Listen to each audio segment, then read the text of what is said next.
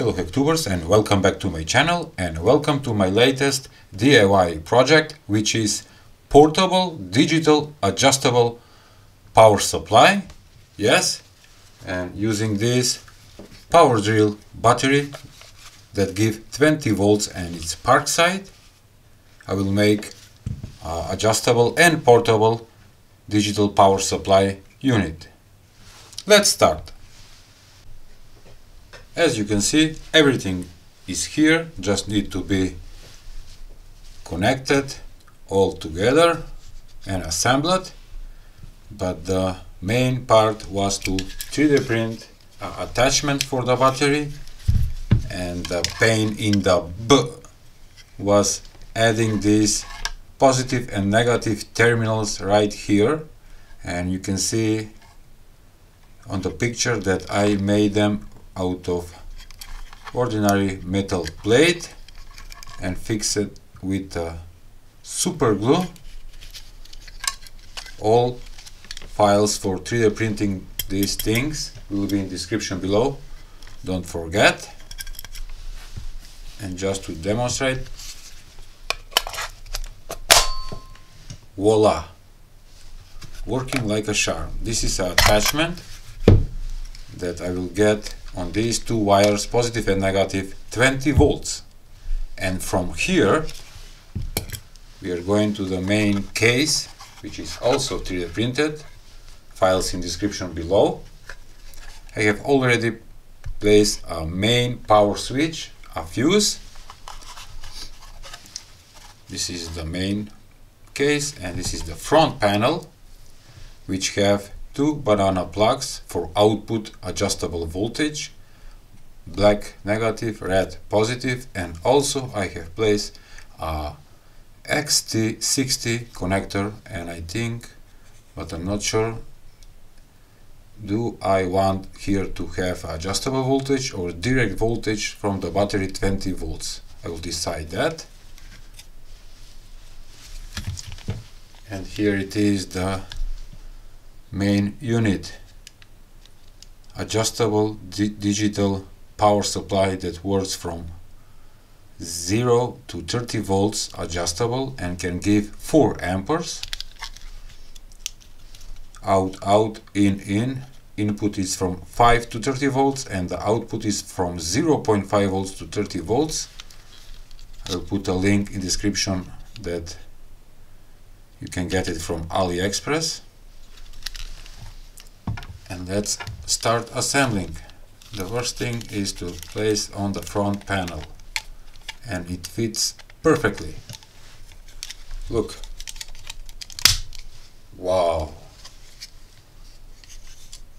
Alright before assembling just to explain the wiring here it is the battery attachment that from from that is giving positive and negative wire. Positive go to the fuse. From here to the main switch 0 1 and from here go to the module adjustable module power supply that will be positive in.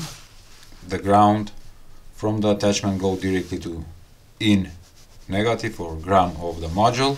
And we have output ground on the banana plugs and positive out on positive banana plugs. That's it. On 3D printed case I have already made holes for the screws and for the wires that will fit perfectly. Positive, negative,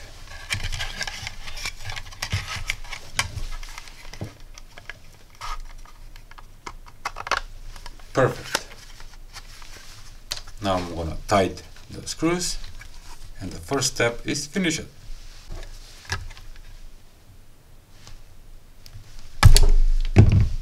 Soldering the positive wire from the battery that will go directly on the fuse and from here to the main switch. Okay.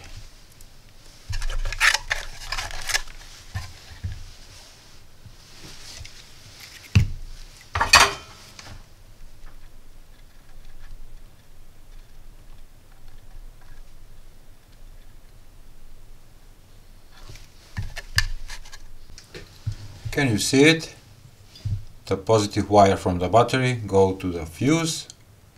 Through this short wire going to the main switch and from the main switch we have the positive wire that will go on the module. And the ground or negative will go directly to the module where it says in input voltage input on these two terminals and from other two terminals positive and negative will go directly on the banana plugs. For the XT60 connector I'm gonna decide later maybe little bit later. Two short wires positive and negative that will go from the banana plugs to the output connectors of the module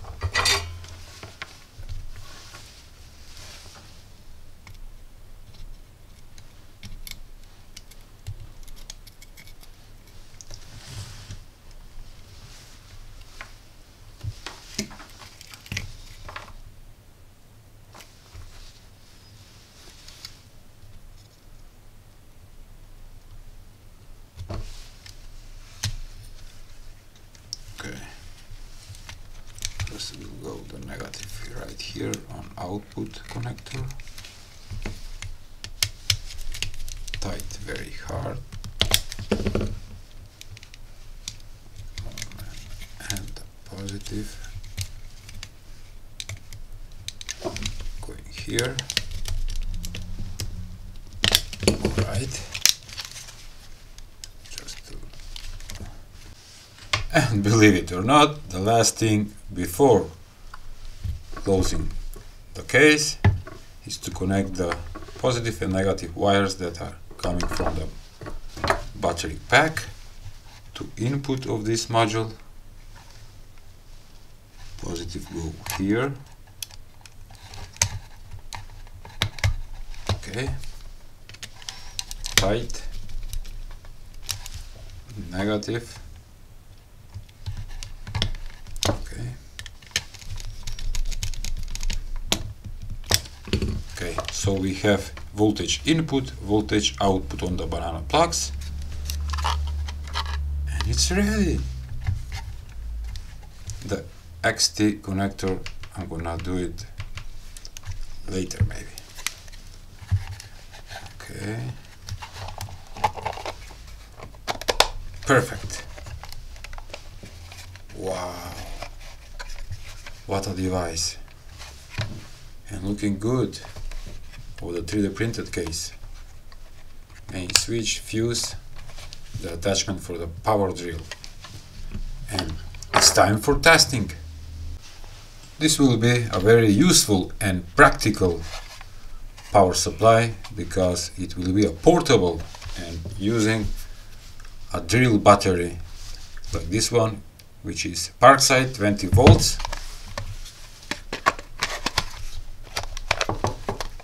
perfect oh. power on in three, two, one. All right. maybe you can you can't see but good at this angle but it's for working fine the LCD screen 12.22 volts oh on off. On. Let's measure and test something. Let's check the output. 12.2 volts 12.2 volts. You can adjust to maximum how much? 18 19 20 volts output that is great. And you can set also the current and the voltage. You can choose whatever decimal you want to work. And the minimum voltage is 0.5 volts. On the multimeter it says 0.49 awesome and good. Okay. Let's test it to 5.2 volts. 5.2 volts. Turning off. No I need to first to go here here. Okay. Ampere hours. Amperes power off. The voltage output is off. When you press it the voltage output is on.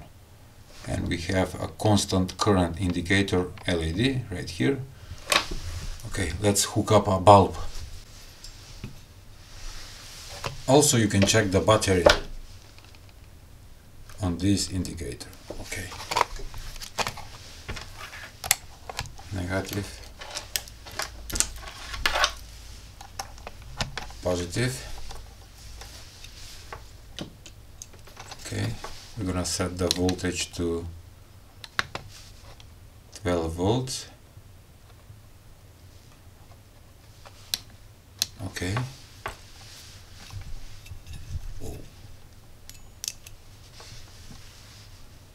nothing happens. Why?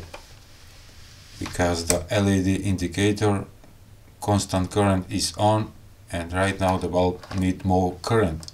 It's set to 300 milliamperes. But we're gonna change that.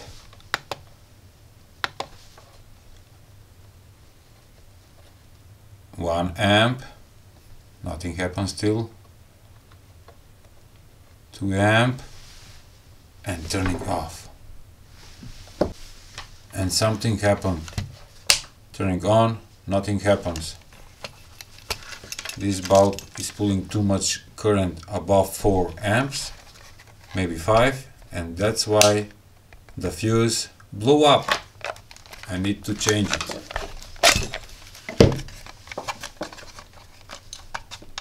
Okay. New fuse. Okay. Let's try it again. Okay turning on. Yes. I need small wattage bulb. No I'm gonna try it again.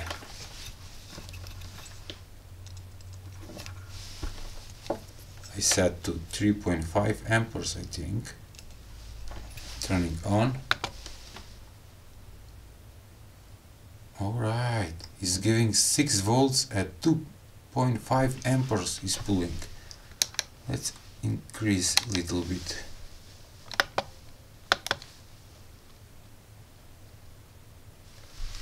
alright now we have 12 volts and it's pulling 2. no we have 7.7 volts and 2.8 amperes Ooh. let's increase again 3 amperes 3.2 amperes and the voltage is 9.3 volts. Ooh, working great. Turning off turning on. I like it.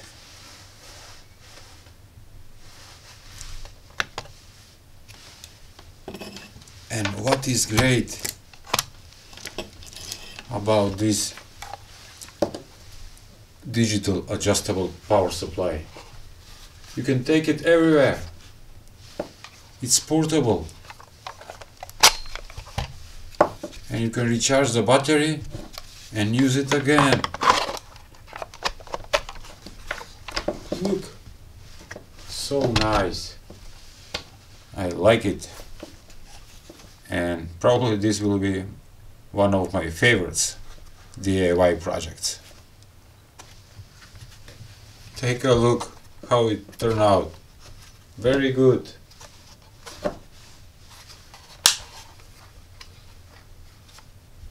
This will be a useful thing. Alright I hope you liked today DIY project.